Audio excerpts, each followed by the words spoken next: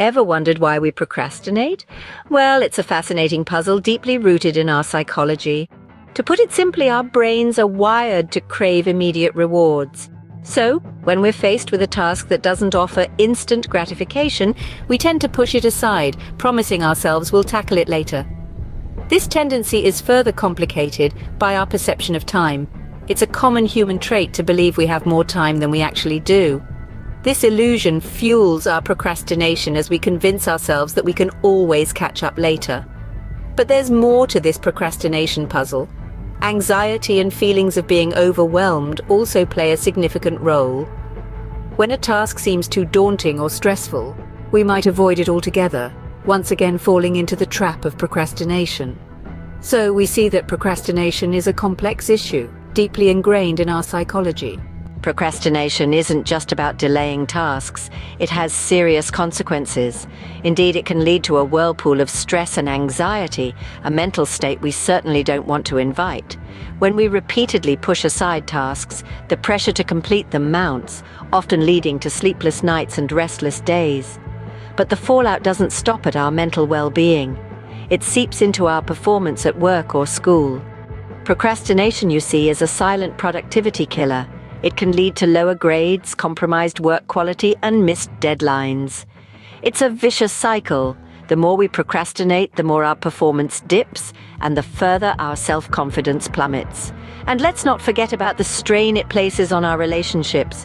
When we procrastinate, we're not just letting ourselves down, but also those who depend on us. Unfinished tasks can lead to unmet expectations, breeding disappointment and conflict. Clearly, the effects of procrastination extend far beyond just unfinished tasks. It's a pervasive issue with far-reaching implications affecting every facet of our lives. But remember, it's not insurmountable. Stay tuned as we explore ways to overcome this habit in the next segment. But don't despair, procrastination is a common problem, and it's one that we can overcome. The key to overcoming procrastination lies in the power of your mind and the way you approach tasks.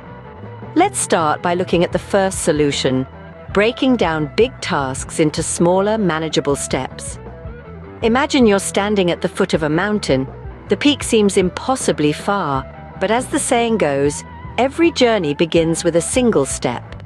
In the same way, tackling a large task can feel daunting, but if we break it down into small, manageable steps, each step feels achievable and before you know it, you'll have reached the peak. Another effective strategy is to set a timer for work sessions and take short breaks in between. This method, known as the Pomodoro technique, involves working for a specific period, say 25 minutes, followed by a five-minute break.